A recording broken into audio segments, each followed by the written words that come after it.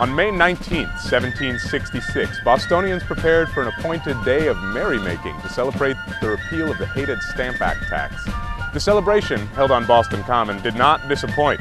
It included a pipe of Madeira wine donated by John Hancock, about 600 bottles worth, as well as music, fireworks, and an elaborate framework pyramid decorated with paintings and illuminated from within by 280 lanterns.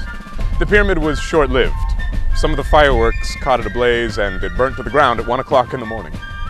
This Day in History brought to you by the Freedom Trail Foundation, partnered with the Massachusetts Teachers Association to bring history to life.